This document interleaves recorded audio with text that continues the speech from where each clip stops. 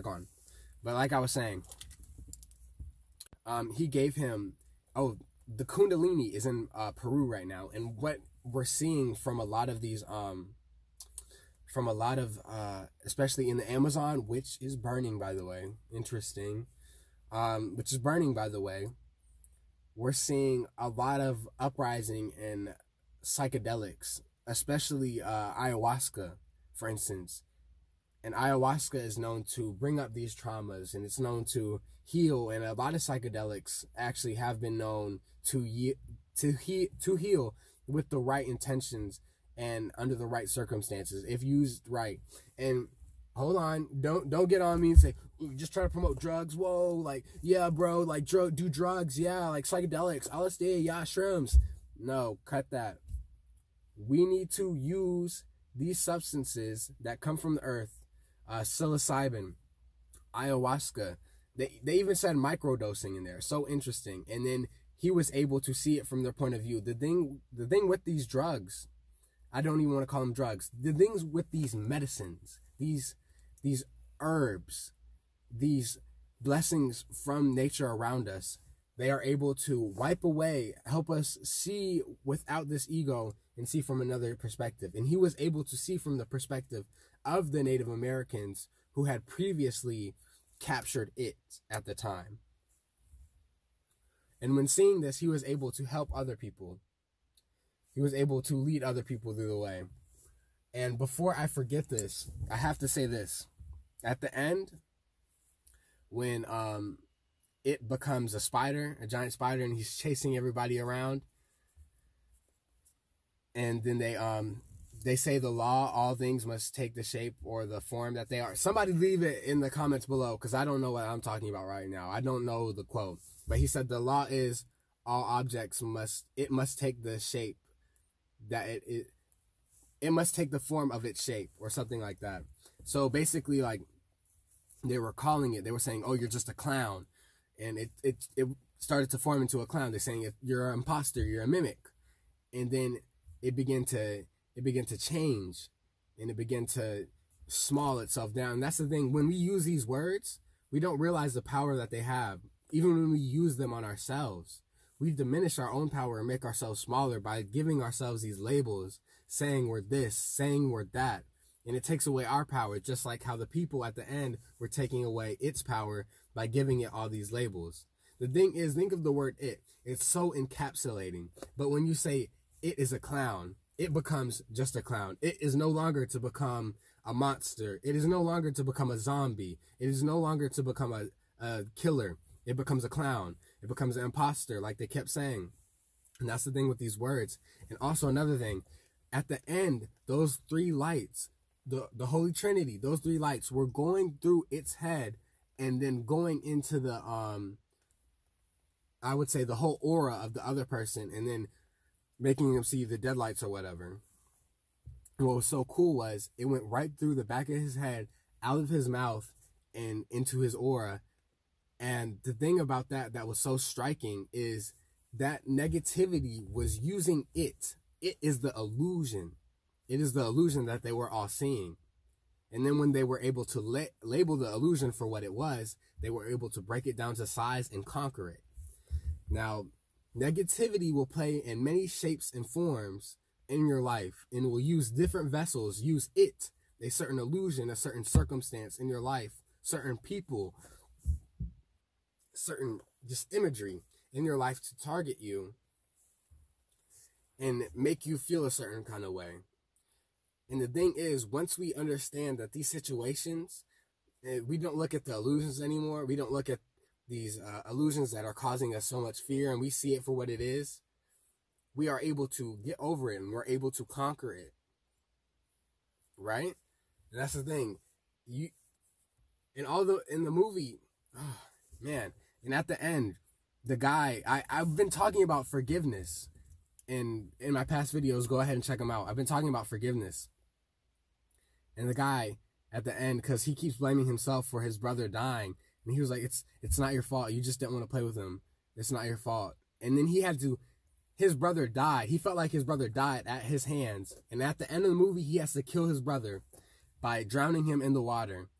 And then his younger self comes to him and he's like, You killed my brother. It's all your fault. It's all your fault. And he's like, No. And then he kills his brother. He changes his memory, ladies and gentlemen. He goes back. The thing is, every time you look back into the past of a memory, you change it. You change it in some shape or form or another. You think of it with a different motion. That's how we need to change our reality. That is how you can change your reality.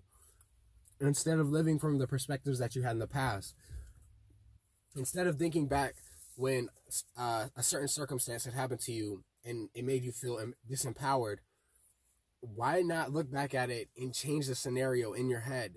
It doesn't matter anymore. Empower yourself. Change your timeline. Shift your reality. I know this sounds crazy to y'all, but it's literally that simple. That's what they did to it. They changed it. It was physical to them. It could actually physically harm them, much like how our phys- our mental thoughts, our emotional feelings can harm us just by putting us into negative um negative circumstances, negative patterns with deep rooted into our psyche that we continually continuously seek out. We seek out toxic relationships. We seek out uh, toxic people. We seek out toxic behavior patterns. And for some reason, we just don't know why. But the thing is, like that guy, when he said, It's not your fault, it is not your fault for this. It is not your fault. Forgive yourself. Understand that you can change, and what happens in the past does not define you. Period. Period. Point blank. I gotta make sure my phone doesn't die, y'all.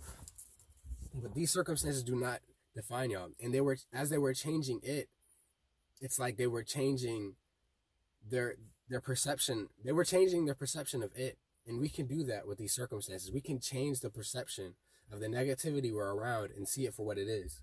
Something to test us, something to see truly how enlightened, quote unquote, or how knowledgeable we are of the reality that encompasses us. Um, anything else in that video? I mean, in the movie. Man, that, that movie was just, it was so good. Everybody had to face their own trials, and it's, it's just like raising into this, this 5D consciousness that we're going toward. If you cannot let go of the trauma, you will be forced to go with it you will be forced to stay behind with your trauma, stay behind in these negative patterns.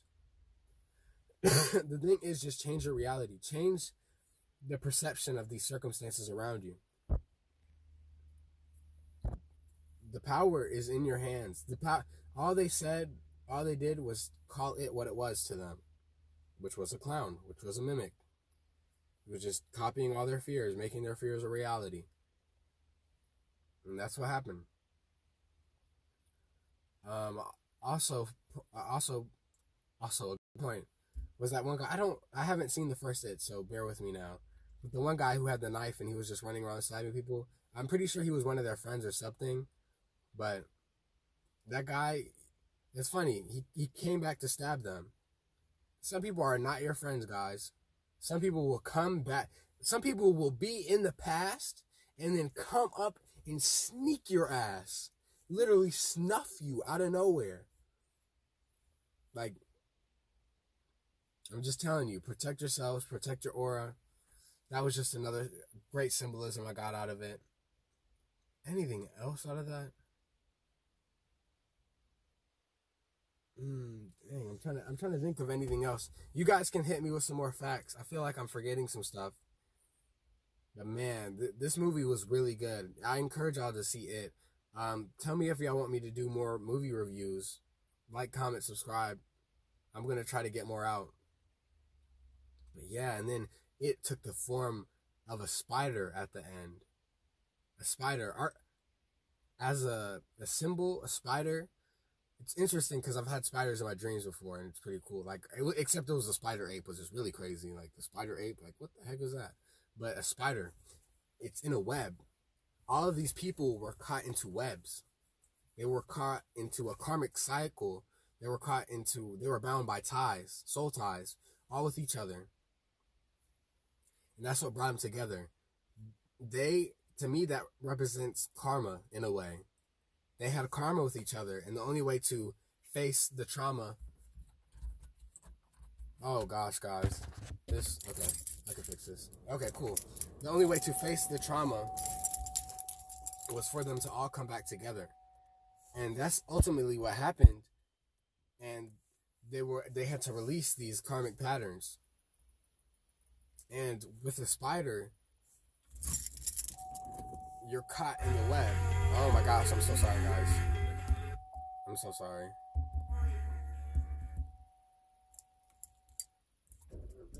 Okay, I'm so sorry. I just had to get this charged. But they were caught in the web of the spider, of it. And in connection to it, they were just getting ready to be devoured by the spider, I would say. I'm I'm kind of going off here, but you you know what I mean. That's that's very symbolic. We are all connected to one another. And as we break this web of negativity and this web that seems to cloak everybody in this field of depression and anxiety and um, unknowing, you know, just being unaware and ignorance, as one of us separates ourselves from this web, very much all of us are able to uh, separate. So I want to say, you be the example for everybody else. Like the one guy, he was like, they won't listen to me, but they'll listen to you. And that's when he um, gave him the thing, gave him the roots, like ayahuasca root. He microdosed, and he was able to see from a different perspective, alternate consciousness. An interesting thing about this is, um, alternate like get more into alternate alternative state of consciousness like meditation i would say it takes you away from this it takes you away from this 3d world that we see and it, it brings you closer to yourself just this this universe that you have this world that you live in right here and it brings you closer to that but as you disconnect from this well this web of just ignorance around us you also free other people around you. The other people were able to help and actually stop it. They gave they gained the courage to actually stop it. Stop it. And another thing, and he says this kills monsters, monsters if you believe it does. And he believed it kills monsters, and well, you know, he they ended up killing the monster all because of that action. Man, great movie. I encourage y'all to see it. Great stuff. I, I haven't even seen the first one, so I'm kind of kind of thrown for a loop on all of it. But yeah, really great movie. Uh, y'all take care. Have a blessed day. I'm sorry, y'all. I missed the upload. I missed the upload, but don't worry. I'm gonna keep these videos going. Um, but at the same time, I think maybe it's best I try to just, um, you know, not just throw out bullcrap videos. Like I did an update video, but that was kind of serious. I was actually letting y'all know I'm, I'm gonna start updating my stuff and whatnot. But um, yeah. Take care. Peace be with you. All is love. Continue to manifest. As above, so below. Don't do what you know. Be you and be free. Take care, my loves.